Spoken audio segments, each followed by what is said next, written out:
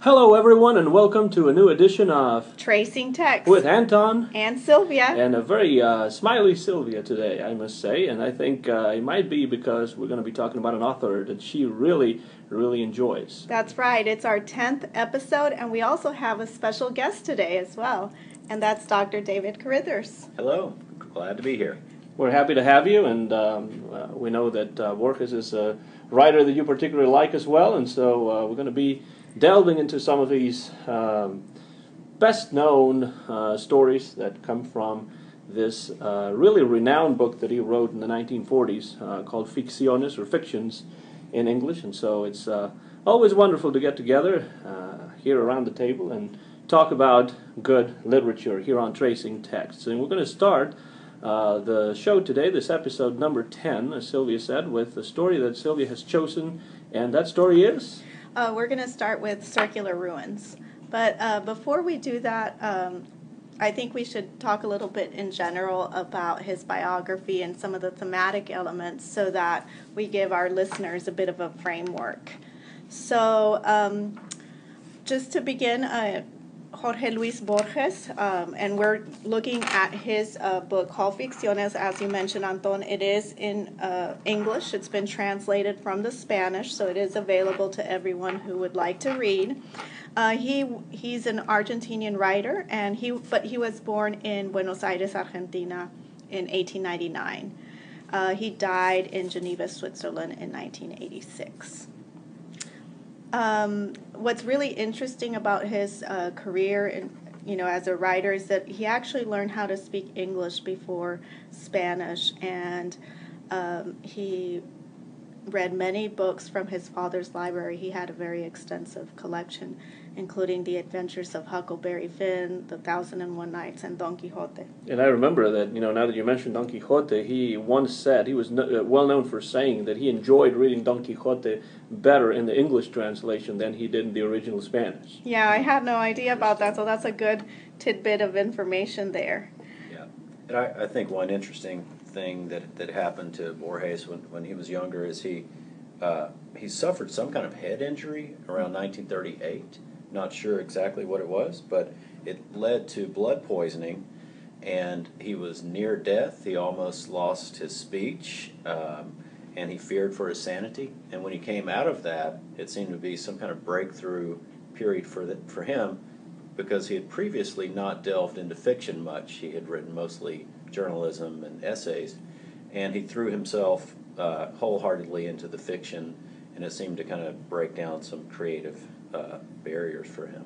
And it was in the next eight years that he wrote his most fantastic stories, including those in, in this book, Ficciones. And he was also quite the world traveler. Right, he was, and he uh, his family did live in, for a time in Geneva during World War One. Uh, then in 1919 they moved to Spain, but ultimately they end up returning to Buenos Aires in 1921. So he he was very worldly uh, in terms of his travels and where he lived, but also, of course, he was very well read, which also you know allowed him to be so creative. So um, I guess then we can move on to some of the thematic elements um, as well. So um, some of the thematic elements in general that I think are prevalent in Ficciones um, are the reason for existence. He always has that, uh, or uh, often in some of in these stories. He looks at symbolic constructs. In other words, like why we have symbols, why those symbols represent what they do. Um, the image of labyrinths is prevalent as well, Mhm. uh, doubles, uh, the myth of the eternal return, time in the sense that time is circular rather than linear, Mhm. and just truth versus fiction. The the you know collection itself is called Ficciones, and that is to uh, question the very notion of truth and fiction.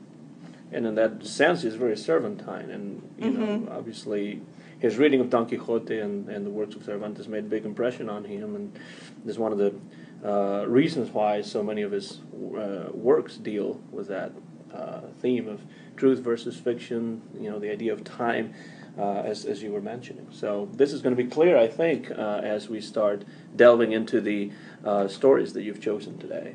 That's right. So, should I go on with our actual story? Um, so, we'll start with the circular ruins. Um, it's a, a short story that I particularly enjoyed reading and then uh, looking at more closely. And um, the circular ruins basically is about a wizard or a magician that dreams up a man and uh, in that process he discovers that in fact he is a product of somebody else's dream. So um, through this text i think that the notion of life as a dream becomes you know the underlying theme there. And that idea however is nothing new in literature. We see that that in recurring uh, works um, creativity is also a major theme because the wizard um, wants to create this particular man. Um, and maybe we should read a little passage here. Um, Yes, uh, in fact, um, I think um, w- one of the things about um, this this story that, that, that I find interesting is uh, that idea of, of, of dreaming um, something that then becomes a part of reality, uh, which in many ways, and we'll be able to, to talk about this in, in just a bit once we talk about the next uh, story, has a lot to do with what happens in uh, Tlön Uqbar Orbis Tertius as well. Uh, so, Sylvia, if you have the. Uh, Yeah, so um, he talks about uh, how he wanted to dream a man. He wanted to dream him in minute entirety and impose him on reality. This magic project had exhausted the entire expanse of his mind. If someone had asked him his name or to relate some event of his former life, he would not would not have been able to give an answer. So he really his goal, this the protagonist of this story, is to create through his dreaming, which sounds very fantastical, um, this man. And he is able to do that through the dreaming. And in fact, he somehow creates a whole group of students, pupils, which is fascinating. But it's the one who questions him that becomes kind of goes on to materialize or, or become embodied in some way. Um, so I find that uh, very interesting, in the, also in the sense that it I, it epitomizes human creative aspirations. I think it kind of speaks to that as well. yeah, it's uh, again, you know, the idea of the uh, the father and the creator at the same time. You know, um, and I think that that is one of the uh, obsessions I think throughout the work of uh, Borges and a lot of his stories in, in particular. Um, I, I think it's it's quite interesting the way that he ends this story by Mhm. talking about the uh, obsession that a father would have with the sons that uh, he creates or that he permits to exist. And Right. this is a little bit what, what, what the story is about as well. Right. But I'm not sure if you if you agree with me about this, uh, and we may be able to talk more about that after we've uh, talked about the stories. I have always found uh, Borges's literature to be uh, extremely playful. Mhm. Uh, Oh, yeah. not, as, not not not to say that it's art for art's sake, but it's getting it's getting close to that, in that he is playing with the reader all the time, not just with the reader's expectations, but with with um, uh, with the reader as a reader. You know, you can Right. never be sure that what he's saying uh, ca- can be can be trusted in many ways because he has like another turn of the screw Right. to to paraphrase the the work of one of his favorite authors, Henry James. Right? Yeah, the all of his narrators are unreliable. We could say, you know, the old trope of the unreliable narrator. Uh, they end up not being who they who you think they were throughout the whole story. Then it's revealed they're actually a different character uh, uh, in the story. I think the Death and the Compass The was like same that, thing, wasn't it? yes, exactly. So it's very playful. Uh, a lot of puzzles to work out. It's fun.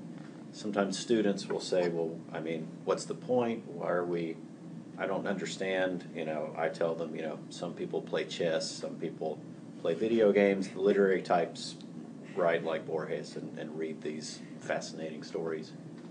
At least uh, the ones that write the way Borges does, because he, he definitely is, is a writer that, that, that likes to play with the idea Right. of literature. is- Exactly. Was, was the, the point that I wanted to make, that Right. one should not approach Borges in a serious manner. Right, Because no. he talks about things that are serious, but he does it in a very playful, Right. uh, sort of even mischievous way. Right. Right. If you will. Yes.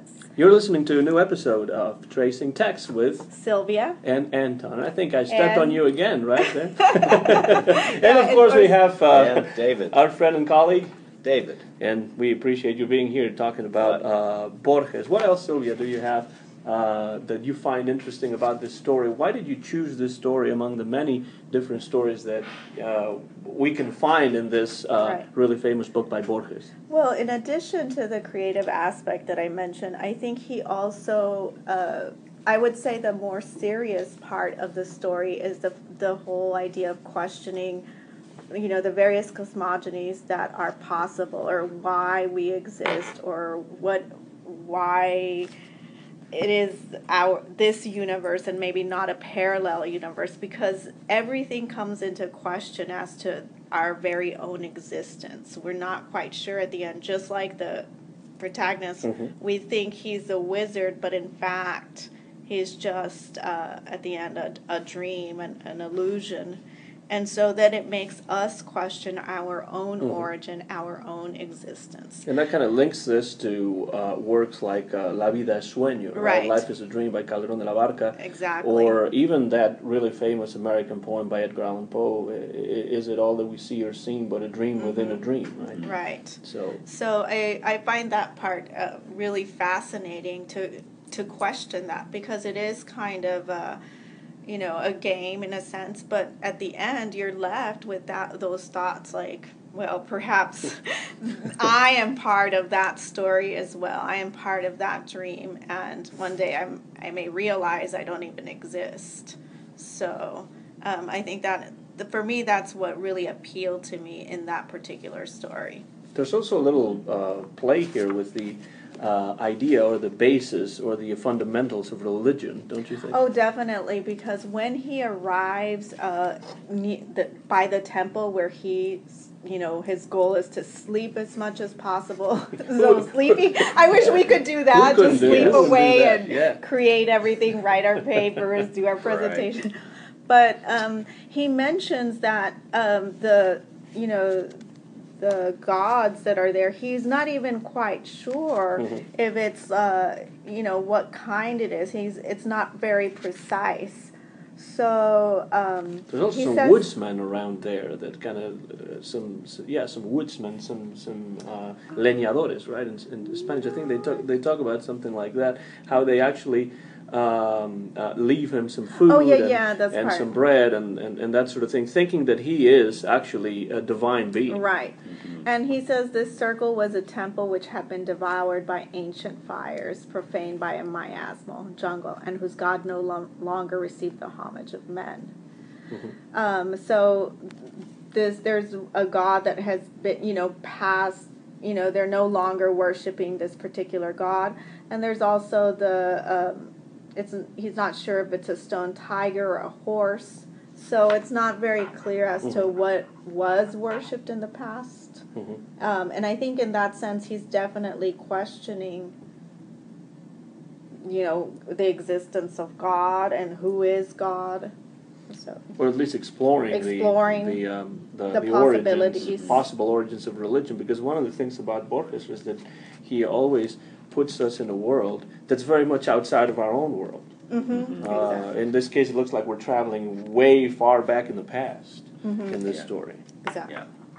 And um, I think that when I first read this a long time ago, although you know the it gives me a sense that it's like some he's either in the Amazon jungle or perhaps an Aztec temple. Like that's what I imagine the the setting to be because I imagine like these exotic uh, you know temples and you know idols and then some you know very sacred priest comes in and, and does his magic and this is how then the story transpires but then that was in my head when i first read this many years ago the first time around Well, uh, this story I think is really well chosen to start our episode because uh, you know as we uh, move into the next one, unless you uh, have anything else, Sylvia, that you I would like to I'm add, um, we can see I think connections between uh, Las Ruinas Circulares or the circular ruins and uh, the next story, the one that you, David, have you've chosen, uh, which is uh, Tlon Uqbar Orbis Tertius. Now, what about that story uh, attracted you? I know you teach it. I know you, you like it. You've read it many times. Now, what what is it about this story that you enjoy and that maybe um, you would like to share with our listeners out there? Well, um, I'm fascinated by the story because in it you see almost all of these big uh, themes that Borges plays with. You see him uh, uh, questioning our notion of time, of authorship and originality, um, of you know of fiction and creating a world through fiction. Uh, just notions about metaphysics and even particle physics. So the, the big physics and the, the tiny um, nanophysics. Um, it's an interesting piece in which um, there are these imaginary places, these geographical places that are completely created through these fake encyclopedias. So the, the first line of the story is I owe the discovery of Uqbar to the conjunction of a mirror and an encyclopedia. So uh, there, there are always mirrors in, in uh, Borges' work, that idea of doubling and mirroring, um, and, and the, the idea of the mirror as kind of a magical uh, looking glass. And, and the world is a kind of playful mirror like that. Um, so in the story, you have a kind of a, a benign underground group that, for some reason, wants to create these fake uh, geographic regions, and uh, most of the story focuses on Tlon, which is actually a, a, an entire imaginary planet. And there's a funny part where the, the group that wants to create this through these various encyclopedias, uh, they go to uh, an American millionaire, a millionaire who is uh, living in Memphis, I think, mm-hmm. and they they tell him their plan. At that point, they just want to create uh, a fake country, and he's American. He's dreaming bigger. He kind of laughs at him and says, "This is America. We're we're not just going to create a country. We're going to create a whole planet." so that that was funny for me to read that, and it you know plays on that idea of, of everything being bigger and sometimes overly developed in, in America. Um, so they do that, and they they basically get all these. They go through all this trouble to to uh, publish tons of encyclopedias that, you know, they on the surface they look like regular encyclopedias, and, they're all, all supporting uh, a study of this planet, and they they show um, the metaphysics of the planet, the flora and fauna, all the the biodiversity of the planet, and it's all made up. But it gives Borges a chance to, to play around with some of these themes. Um, for example, the, the metaphysical theme, um, the metaphysicians on this made up planet, they consider metaphysics a kind of fantastic literature. Mhm. So instead of sort of trying to figure out questions about God and, and things like that, they, they want to be amazed by the universe. So Mhm. the, the quote is um, The metaphysicians of Tlon are not looking for truth, rather, they're looking for a kind of amazement. They consider metaphysics a branch of fantastic literature. So, you know, Borges is always playing with our ideas of religion and um, the supernatural, and at least on that planet, they're satisfied by being amazed and not, not really, you know, finding all the answers or the one true answer. We might say those metaphysicians on that planet, they might not be too far off. Yes. Because the problems with metaphysics is, you know, you're, you're, you're, you're basically creating a, a whole science uh, that has no known object. Yes. And Right. so, you know, I think he, he can see that, and I think his, Mhm. his, his, his view of religion is very, um, I wouldn't say problematic, but he tries to problematize the Right. idea of religion He certainly does. constantly throughout his work. Yes, Right. he certainly does. I would definitely say that. And I would say that that particular statement, I think that's what he wants us to gain from that, to, to be amazed by metaphysics instead of maybe necessarily obsessing over a truth. But just simply, uh, like, you know, you talked about uh, just the, the word awesome in the true sense, like you're awed by Mhm. the universe rather Yes. than having than finding Mhm. who created this universe just accepting that awe being amazed Yeah, the, that, that most over, overused of words in the English language Right. these days, Oh, but yeah. in the true sense in of the, the, true word sense that of the originally word you're meant. truly yes. awed by that Inspiring. Well, one thing that I find interesting uh, when you when you read that very first line um, is is the fact that uh, I think in this in this story. Um, Borges is, is really uh, creating a reversal of reality in that usually we have encyclopedias to to kind of uh, record what's already there instead of using them to create something that doesn't really exist. Yes. But at the same time, you know, does something really exist until we record it? Yeah. That that's again the philosophical approach that that we might be thinking about here. And of course, I, I don't know if that's what he was thinking, but that's what it makes me think when I when I read this story, which I find one of the most fascinating. I think that that he has uh, that, that he ever wrote. Yes, Right. me too.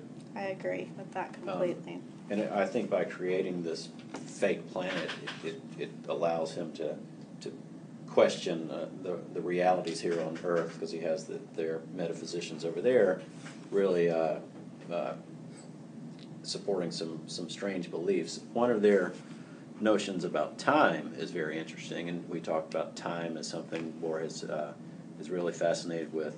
Um, so they're you know, it's so complicated. There are actually different schools of thought on this planet about time, and one of the schools denies the, the whole existence of time. And here's a quote from the story This school of thought reasons that the present is undefined, that the future has no other reality than as present hope, and that the past is no more than present memory. yeah And so, you know, I think he's always questioning Mhm. our notions of past, present, and future, that idea of, of linear time. Um, you know, he, I think, at least in this story, he's looking at time as something that's, I won't even say circular, it's just Mhm. kind of all there, all present at once. right once. it's fluid yeah simultaneously Yeah, yeah that's true And also the idea of whether time exists or not independently of human beings.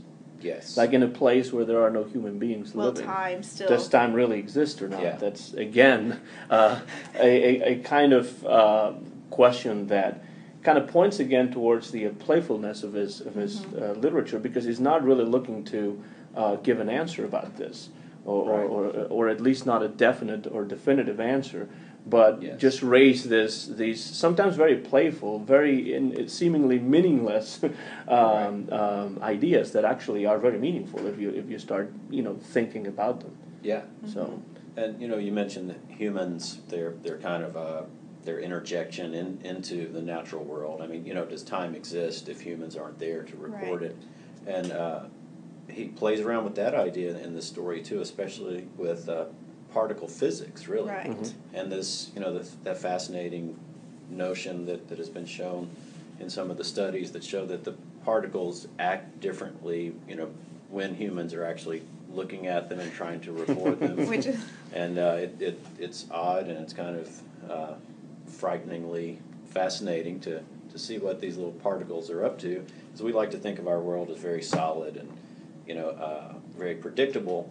But when you, those tiny particles can be very un- unpredictable. So i- i- on the planet of Tlon, um, the inhabitants can kind of uh, create a, a physical object uh, through through hope, through thinking about it, and it actually creates a thing, and, and it has a name. It's the Ur, I guess, U R. It's a, a thing produced by suggestion, an object brought into being by hope. And I think that's interesting to, to think about. You know, the humans, our our uh, viewing of the natural world, our Mhm. experimentation with it, it actually you know changes its uh, Mhm. activity and its movement. And It's pretty fascinating.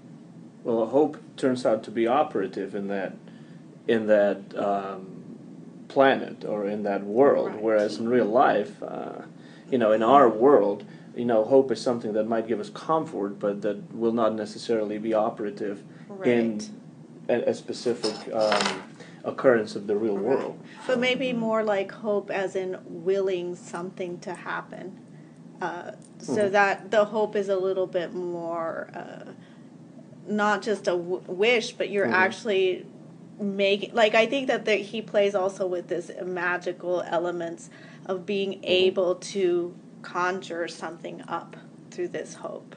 Just like, you know, with the circular ruin. So I kind of see it as a little bit more active than Mhm. just a simple hope. Not contemplative, Not contemplative, exactly. It's like they are able to create this er, these little er things Yeah. that exist, objects. And that's how we can uh, actually uh, link this story with the previous one. Right. In that uh, the creation here is the creation of things, whereas in the other story, uh, Las Ruinas Circulares, or Circular Ruins, Would be. uh, it would be actually a human being. Exactly. And I, I think that in that sense, like, um, he also plays with the idea that literature in itself is what create, like you said, it's not just written by, but literature creates our planet, Mhm. uh, uh, us as individuals, our sense of identity. So I think, in a sense, he's Mhm. creating that as well. Yes, and the kind of spooky thing in, in the end, uh, the way he ends this, is that the, this imaginary world of Tlon, it actually comes true. Uh, the, the last paragraph begins, then English, French, and mere Spanish will disappear from this planet. The world will be Tlon. Mhm. And so in this story, they've they fictionalized this planet, but in the end, you know, it is uh, going to be a reality. So it's just this idea of kind of projecting a world through fiction, Mhm. and um, and it actually having it come true. And if you think about what humans do, we do dream up things Mhm. that become reality, and you can see uh, just, I mean, things like. Uh, uh, you know, not Nazism or something like Mhm. that. It, Right. that was kind of created through these ideas, and then it was brought into fruition. Right.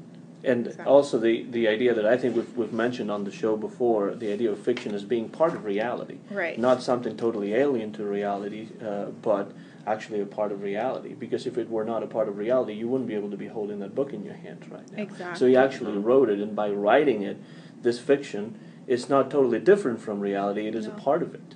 Exactly. It's just that, of course, none of these characters can come out of the book and actually be operative in, in real life. Well, perhaps. Hopefully not. Hopefully not. You're listening to a new episode of Tracing text. With Sylvia. and Anton, and today also with, David. and we're happy to have you here. We're coming to you from deep in the heart of the state of Tennessee. I don't think I said that before, did I? no, Sylvia? you didn't. You you forgot that line, but that's okay. Now, all the works by uh, uh, Jorge Luis Borges, uh, this great Argentinian writer of the 20th century, uh, they always have something to do with the idea of authorship. hmm You know, he is obsessed with this idea of authorship, most likely because he was an author, right? Um, is this true also of um, these two stories that we have um, looked at so far? Uh, Tlon, Uqbar, Orbis Tertius, and the Circular Ruins? Yes, de- definitely with uh, Talon of Kapar and Orbis Tertius. Um, there's this idea that there's either just one book and one single author. Uh, in fact, that's a quote from uh, page 28. Mhm. Uh, the dominant notion is that everything is the work of one single author. Books are rarely signed. The concept of plagiarism does not exist. Which it didn't way back. Yeah, That's true. So, so all authors are one author, Right. and you know he says in many of his stories, you know, Shakespeare is all men, you know, and even Jesus and Judas are all men. So I, Mhm. I think he's playing around with the idea of the archetype. You know, if if these stories have meaning, then you know they truly represent um, all humans in some way. So he, he's definitely uh, in his made-up world of Tlon. Mhm. There's only one author. Mm-hmm. yeah. Um, and that's very interesting.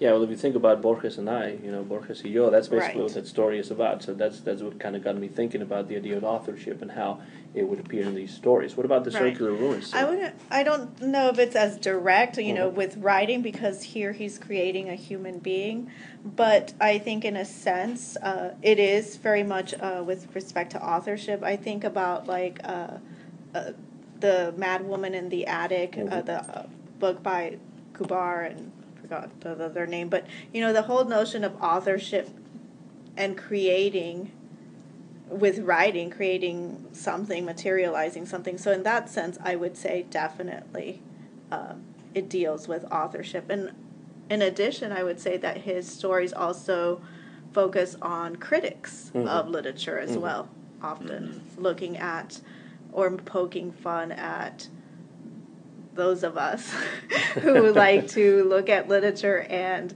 give it some sort of interpretation as Mhm. well. well, So- also the, the, the idea that literature is really not literature without a readership. Right.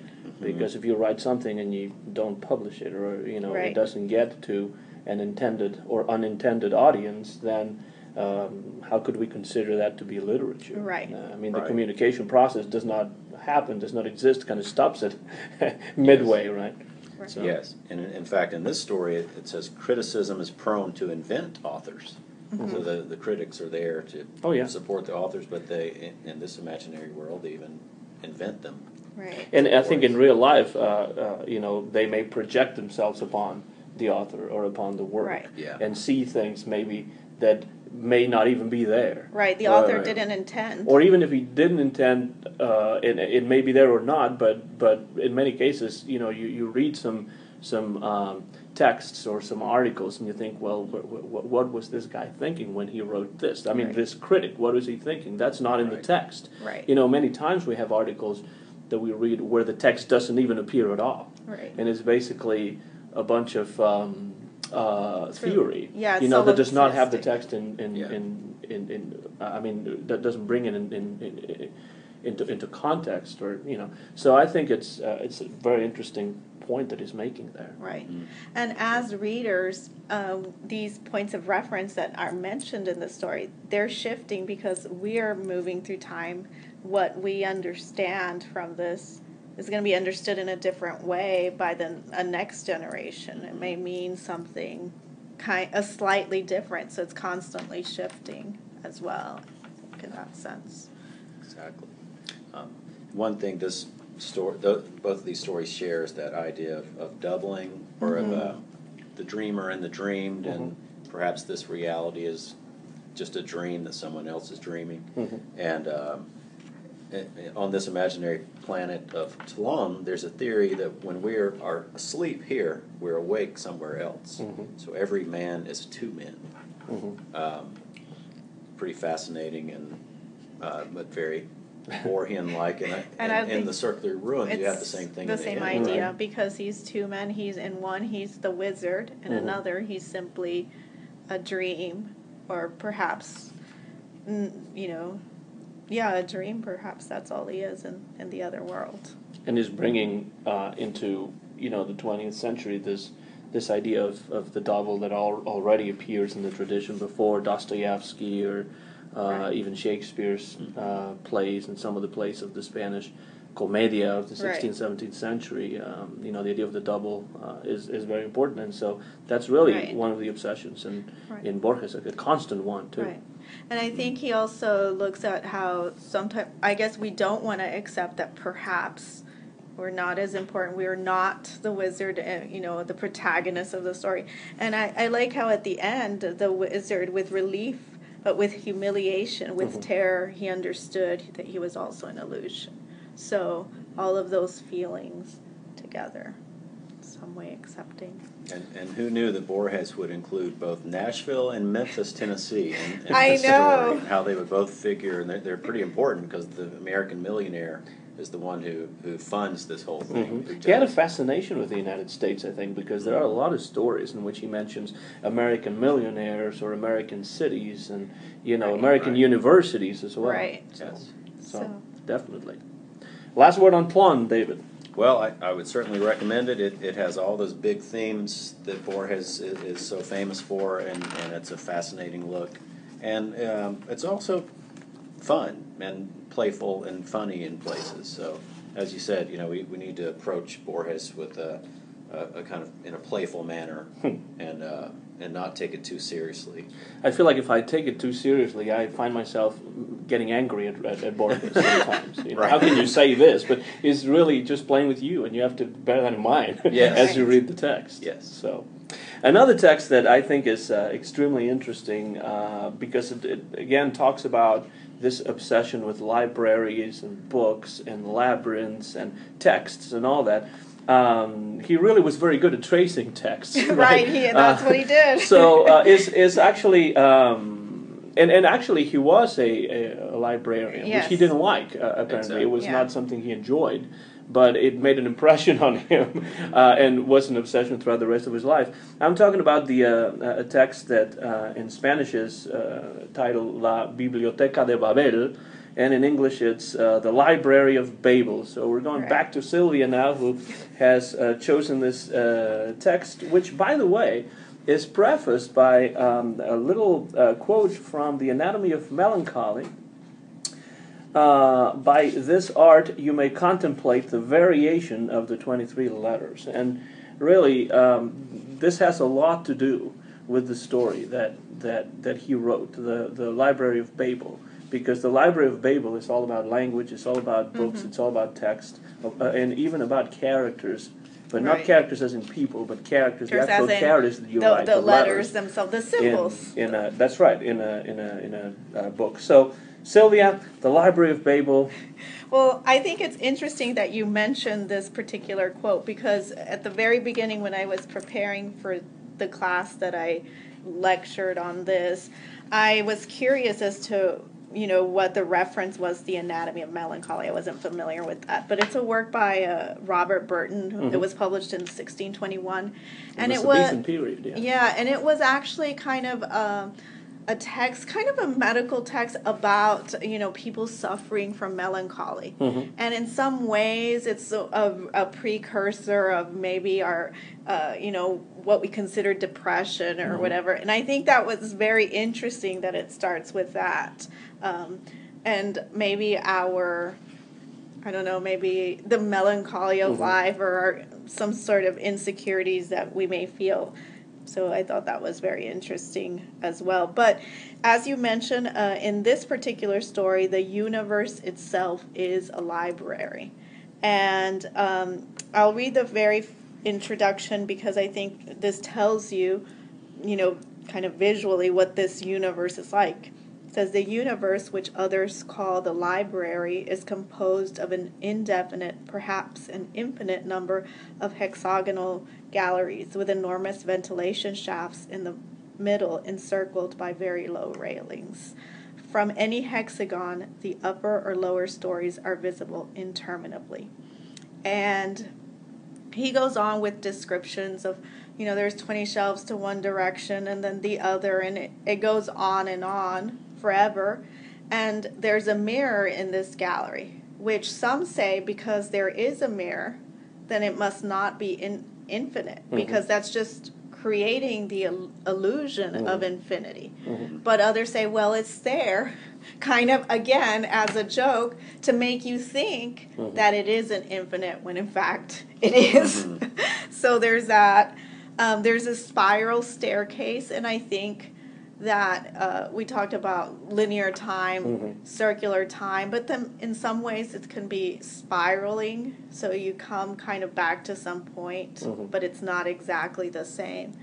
Um, I think it might allude to that as well. Um, so that's the the library itself and within that library all of these texts that exist that you know uh, in some way explain the universe Mhm. and there is one particular book that is being searched for um, and cannot be found so he talks on page uh, 80 of, of the version that I have. He says the idealists argue that the hexagonal halls are a necessary form of absolute space or at least an intuition of space. There are different like sects that try to interpret the Mhm. library. Mhm. So in a way, again, playing with our notions of um, understanding God, or and and so therefore different religions that Mhm. exist within this universe. Um, and he also again talks about the symbols themselves and how some of the texts that Mhm. repeat themselves Mhm. may differ only by one character. So they're Mhm. exactly the same, but for one little thing that changes. And Yeah. so, I think you know when, when you think about this idea of the uh, never-ending library, whether it's infinite or not, how, how can you even think of the idea of an infinite library? It, it's like thinking about a circumference that, that has a radius that's never-ending. That's impossible. Right. That doesn't really that, that, that kind of again he's playing uh, around with the with the rules of math and physics and, and, and everything. It's something that's that in real life it's it's not possible. But he's trying to to, to, to work uh, this into the story, uh, knowing all the while that he's being playful uh, with the reader that reads this in a serious way. You know. Um, so, for example, uh, there there are some uh, also. I don't know if, if in those uh, if in your editions uh, there are um, footnotes that are actually from Borges himself. oh himself. yes, Um, uh, there's one of them, I think it's number three, that says, uh, in my version, which might not be exactly the same translation, he says, I repeat, in order for a book to exist, it is sufficient that it be possible. And possible is uh, italicized there. Only the impossible is excluded. For example, no book is also a staircase, though there are no doubt books that discuss and deny and prove that possibility, and others whose structure corresponds to that of a staircase. All right. So uh, that itself is again that, that other turn of the screw every time. You know, he says something and he says, but uh, other people think, you know, uh, something else. But this idea that in order for a book to exist, it is sufficient that it be possible, that's clearly, in my opinion, you know, reading this, uh, it's clearly um, Borges laughing at his readers Right. out loud, you know, because how can you say that? How can you write that?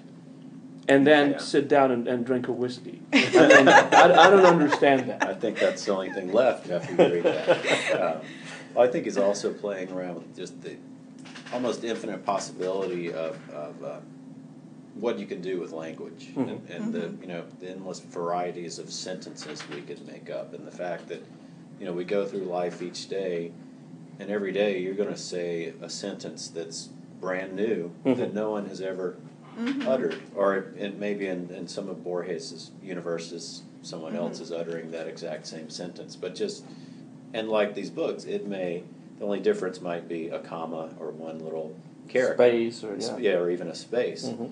Um, but it is pretty fascinating to think that we can live a lifetime and, and continue to create new ideas and new sentence structures and new whole new uh, stories and books, even though some may say there's nothing new under the sun and every story has already been told. Somehow, folks are still churning out new fiction every day, and it's it's new enough for most people. Right. And I think it's interesting what you mentioned because he also talks about uh, how if they were to like burn or destroy any of these works, it wouldn't matter because there's always that other. There you know- facsimiles Yeah, they're them, right? facsimiles with only one little difference, which then, you know, makes us question, you know, when there have been cases of censorship or actual book Mhm. burnings, you know, did, you know, was that knowledge truly destroyed? In some ways, Mhm. it still exists And in many there. cases, it wasn't. it Because wasn't they have actually survived. And, survived, or Mm. you know, it's in some way it's still out there, and it's not at the same time. Yeah. Well, you know, you can destroy the physical representations of ideas and Right. things, but those ideas, I think, are, you know, continue on. Uh, think of the Romans. Every time a Mhm. new emperor came along, they would destroy all the statues from the previous Mhm. emperor. Mhm. Tr- They just tried to wipe them out of history. A lot of times, they would even get rid of all the manuscripts and books that were written about that emperor. and yet we still have the full history in many, many books of, of all these uh, emperors. And that's a that's a very current idea here in the United States. It's it's, it's been in the Yes. news a lot lately when you talk about monuments and things like Right. that. Right. But we, we won't go into that. But it's clearly something that we're still thinking about in 2017. Right. Yes. Um, but also, you know, the idea that after the create the invention of the printing press, suppressing the books is a lot more difficult because there are many more copies, Right. and there's always the possibility that one copy will survive Right. or Yes. two, you know, and, and, and, and it has happened many times that, that books that had been banned by the church or banned by the Inquisition or something like that, they actually survive. We still have them, Right. and that's because you know because of this mechanical reproduction of the uh, of the printing press, which uh, allowed for Right. a lot more copies of the books to And in a sense, with the internet, Mhm. the the Library of Babel is kind of, in a way, like the internet with all these infinite connections going on and on forever. So, in a way that it expands or kind of multiplies Mhm. the possibility of reproducing all of these texts. You're listening to a new episode of Tracing text with Anton and Sylvia. and today we have David. Well, we're happy to be here chatting about Borges. Uh, and one thing that um, I think is interesting about this story that maybe you can you can speak to is the fact that at some point in the story it is mentioned that uh, if all the books in the world are contained in this library, then all the problems in the world could be solved. Mm-hmm. Now, how idealistic could that be? Uh, because you know uh, this this kind of that's this kind of speaks to the idea that it is possible to solve every problem by means of language. Right. But maybe that's not necessarily true. I think in the story it's it's technically possible because they're all it's all there somewhere, but it's mm-hmm. impossible because all these searchers and all these sects they can never find it. Right. And you know there is there's one sect that believes there is one book that's the cipher and is going to translate and make everything else clear. It's going to be pretty much analogous to a god, um, but they can never find it. Mm-hmm. So it's it's interesting to think that it's it's possible, but um, not not really doable Mhm. because it's it's too infinite. You you're you, these people spend lives and generations of Right. lives trying to find that secret, and they never find it. And in fact, the, I think the narrator says something about having squandered all his life Right. or all his Searching. years searching and never Yes. finding what he was looking for, right? And in some ways, like in this search Mhm. for this, you know, in the Crimson Hexagon that he talks about, where, you know, they will find the books that, you know, have this, you know, they can solve the riddle or Mhm. the life or whatever. I, I mean, I think that maybe it's because, in a way, if- if everyone's reading a different text in this infinite library. Mhm. It's slightly different, these uh, facsimiles. We are all, in a way, speaking different languages, Mhm. uh, you know, or approaching this whatever problem in slightly different ways, and therefore it's impossible for us to all converge Mhm. on one text. Which is the idea of Babel, right? The confusion Right. of different languages. Yes. Yes. That So brings- that's kind of why I think he also, you know, titled this story, you know, the Library of Babel, but in that sense, we're all speaking a different language Mhm. to some extent. And there's Yeah. also the religious idea, right? Because it's talking about this, this uh, what's it called, the book man, right? Or Yeah, the, something ma- like that? the man of the book. The Yes, man of the book, man okay. of the book. Yes. Um, and and they talk about the fact that you know that person might have existed and might have uh, read this book that explains all the other books, uh, and so all of a sudden, uh, very quickly, there are a lot of people who worship, not the idea, not the book, but this actual person. Right, the man that the they're not sure if he exists or not, or she, and but he or she has.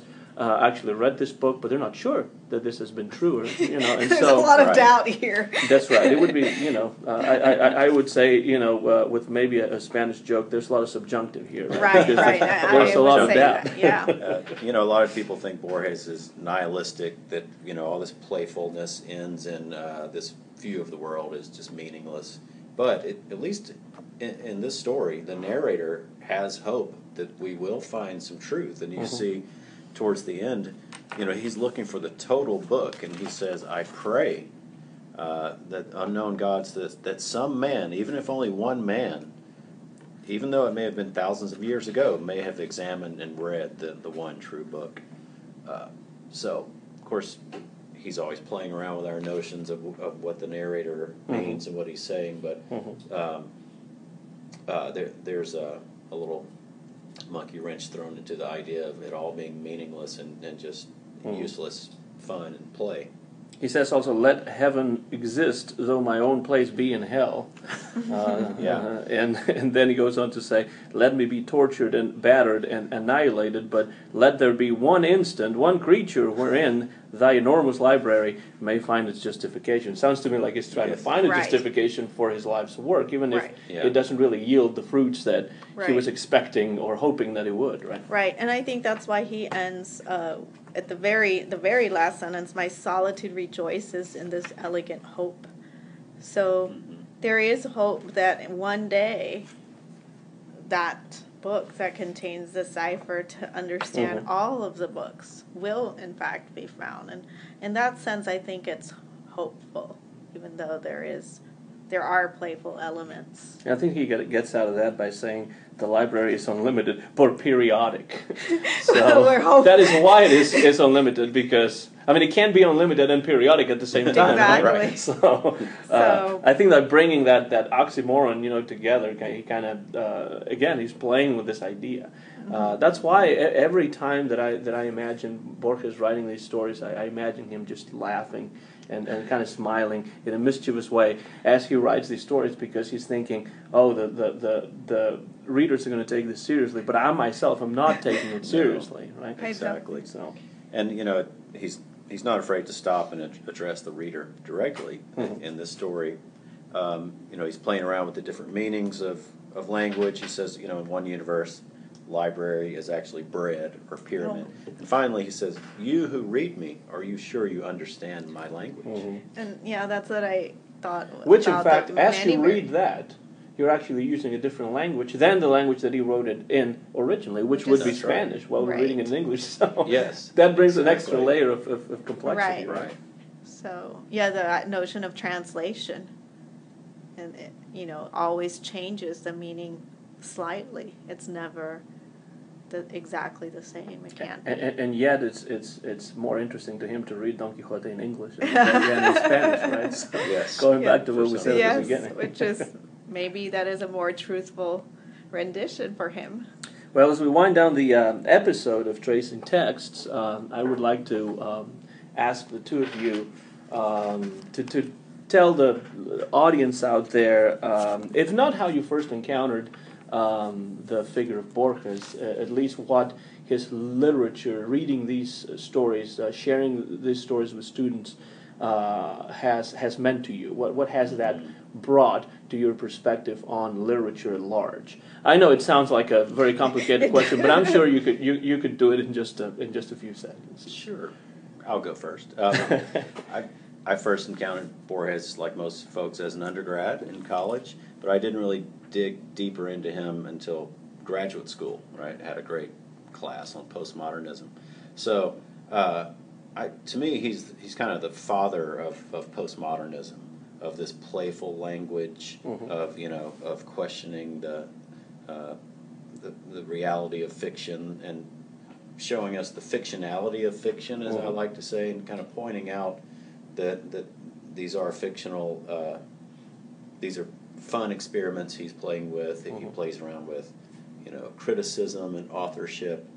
Um, so it, it's taught me to to approach text in, in a, a lighthearted manner and not get too serious with them. And, and since it's helped me read James Joyce and Thomas Mhm. Pynchon and Mhm. people that uh, certainly Pynchon, I would say, is read his Borges, and Oh, so it's it kind of opened up the what can be kind of uh, challenging literature in the, the postmodern literature, Mhm. and and to realize that it doesn't have to make sense. Uh, you know, it doesn't have to have a linear a a, a to Z uh, Mhm. progress, but you can still have fun with it and just enjoy it for what it is, which is entertainment that makes you think. You know. So I would recommend it, and he's certainly one of my favorite authors. I think Sylvia shares that. Yes, definitely. My first encounter with Borges was before I even read him. when I was a little girl, around five or 6 That's Mhm. when uh, they started having That was not Spanish. that long ago, right? well, no, it was only like about 15 years ago Oh, or all so. right, okay, we get it. No, uh, they when Spanish language television was introduced into the U.S., I think they didn't have their programming quite set up. So between soap operas, they would have these little mini documentaries, Mhm. and I very specifically remember two. One was about Borges, and one was about the origin of chess. Wow, t- t- talk about high culture and low culture all jumbled up, right? and- Soap opera and then Borges and yes, chess and and I quantum physics. or- Exactly. So I do remember, and they would repeat these, like, so that's why I remember it because it was very repetitive. They had a few, and they Mhm. would repeat between, you know, programs. But something about, like, they would do a mini biography, and Mhm. some of, like, the thematic elements stuck with me. Mhm. And I, so I knew that I was kind of intrigued by some of the ideas. I know it sounds kind of crazy, but I thought, well, why do I exist or whatever?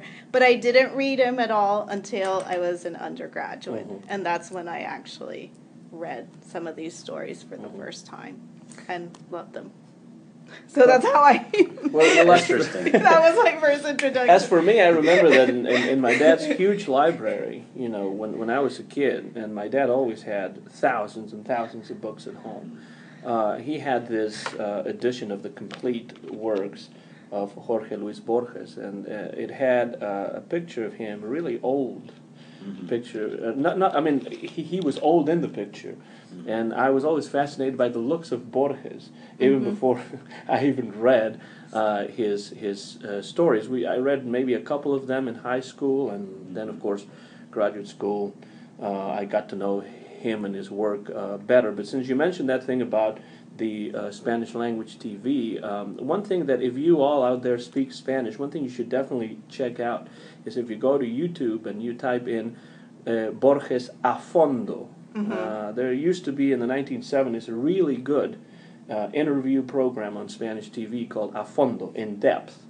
Um, and there is an absolutely fascinating interview in black and white with uh, Borges on there. So if you get a chance to read that, uh, to watch that, I think you would you would enjoy it. If if you speak uh, Spanish, I'm not sure that there's any uh, subtitled versions of, Right. of, of it on YouTube or not, but it really is well worth it. I wonder if those are excerpts. That was an excerpt from that because it could have could been. be. I remember very specifically. I knew that he had gone blind, Mhm. and like Yeah, you said, the image had, also yes. his image was very like intriguing. Mhm. So that that definitely stayed with me.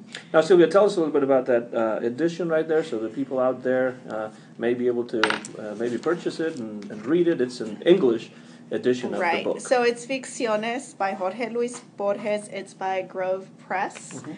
and this particular uh, edition was has a copyright of 1962. So.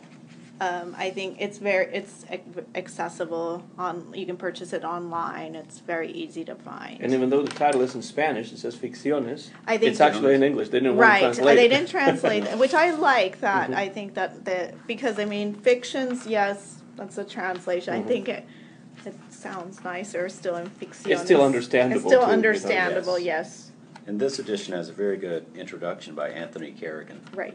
Which uh, it, it's uh, very well done and doesn't go into too much in Mhm. depth with his bio, but just it, it's kind of Borgian and even in the, the intro. It puts the maybe the stories in context a little Right. bit. Yes, a little bit. So I definitely recommend this edition, and I think any of our listeners would enjoy if they have not read Borges, discovering Borges and reading some of his stories. All right. Well, we uh, uh, reached the ending of this uh, episode of Tracing Texts, and as always, uh, there are ways of getting in contact with us. Right. That's right. So if you have any questions or comments, you can reach us by email at tracingtext at gmail.com.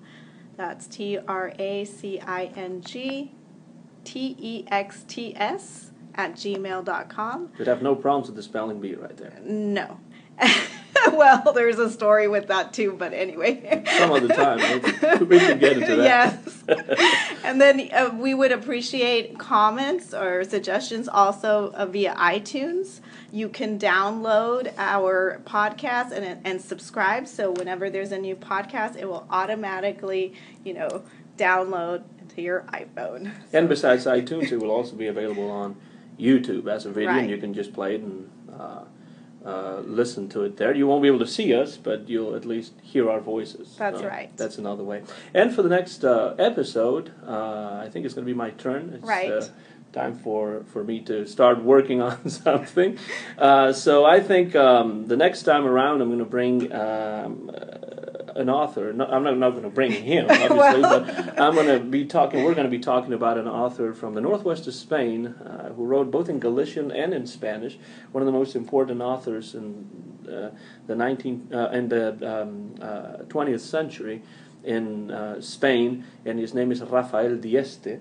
And he uh, wrote a collection of short stories which are rather fantastic, uh, supernatural, uh, dealing with the folk traditions of the northwest of Spain. And uh, in English, it's called uh, From the Goblins Archives. Oh, that sounds And in great. Spanish, it's um, uh, called uh, De los Archivos del Trasno.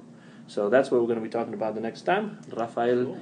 Dieste. Thank you, David. Thank you so much for being here. We really enjoyed having you. Thank you for inviting me. I've really enjoyed it. And thank you to our listeners. This is our 10th episode, so we're happy that we've done this. This has been uh, an episode of Tracing Texts with Sylvia, and Anton from deep in the heart of the state of Tennessee. Thank you very much to everybody out there. Signing off now.